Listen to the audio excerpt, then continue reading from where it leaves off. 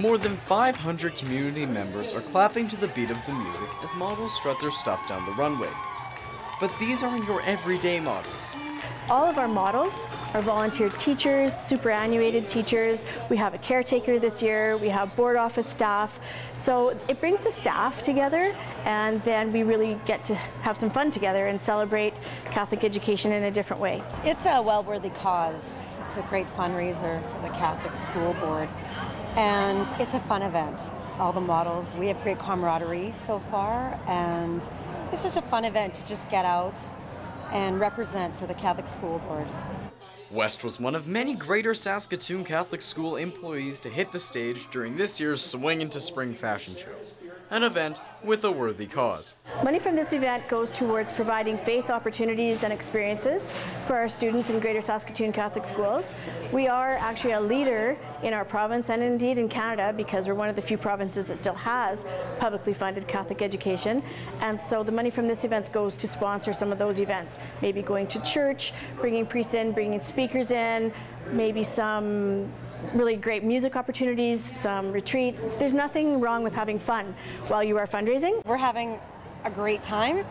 As you can see, we've already bonded as friends, and I just think it's a really good time, all of us. I think it's wonderful. I know the Greater Saskatoon Foundation loves our, our staff, cares about our, our uh, children, and uh, it's really great to see the, um, the proceeds from the fashion show to go to faith-based projects and activities in our school division. A cause Karwacki knows is valuable from her experience in the Greater Saskatoon Catholic School District, devoting much of her life to improving Saskatoon's faith-based education. It is really one of my true passions. I was a student of this system. I went to George Vanier, I went to Holy Cross High School, I went through education. I'm employed by GSCS. I teach in the system and I'm a parent in the system. We are actually a leader in our province and indeed in Canada because we're one of the few provinces that still has publicly funded Catholic education.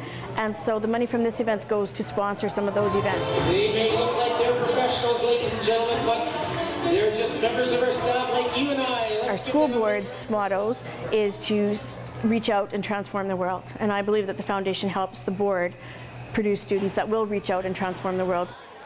Grade 12 student Jonathan Zimmer has been a part of the Greater Saskatoon Catholic School Foundation for a couple of years, taking on the role of student director for this year's fundraiser. There's a fantastic turnout. It really lets me see uh, what kind of support the foundation has inside the community. And uh, the fact that it's all going towards helping students and like me get educated, it's amazing.